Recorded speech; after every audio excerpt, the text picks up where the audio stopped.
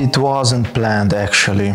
Back then, when I started at Wasabi, there were no teams. Only Jumar and Dan were responsible for the UI related tasks. And I remember Avalonia was about to release a new version that had to be tested with Wasabi. I participated in the testing, and that was the first time when I met with the UI guys. And a few weeks later, the UI team was created and they asked me if I wanted to join. I had some WPF experience, but I was definitely not an expert.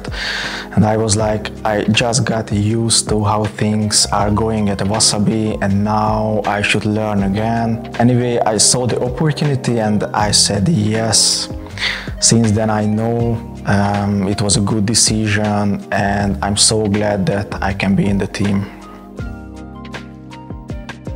They are related and also different because UI is the visual element that the user can interact with and the UX is the, the feeling how the user feels during interacting with the UI. Developing a good UX is an interesting thing because even if you think you achieved it, you should take another look with a clear mind and you will probably have new ideas on how to improve it further. I'm understanding Bitcoin because it, it has been two years since I met with it, but still so much to learn. Yeah, it's a never ending story. My first few months were so intensive from the others' review and reviewing the others, I learned so much. And I remember in my early days, um, David was my teacher. Every time when I asked something, he stood up, went to the whiteboard and started to explain like a professor at the university. And after I joined the UI team, I had to learn Avalonia. So I asked them every time when I was curious about something, how it was working, and there was none of them that he couldn't have explained. One of the most important thing I love about working here is Wasabi is so innovative. We are always open to new techniques. We are always aiming to use the most recent ones. Um, it can be learned by practice, so jump in and start contributing to Wasabi. I think the main difference is we have teams now. In the time of 1.0, there were no teams. Anyone could take any task to work on, someone reviewed and approved it, and it got merged. Now, if someone opens a pull request that, for example, modifies something on the UI, still anyone can review and approve it, but it cannot be merged until someone from the UI team approves it. Before the release, literally everyone's keyboard was on fire. Everyone knew what they had to work on and it was actually great to see how effective the team was. And after the release, I don't know because the day before I went on a holiday, I left the board.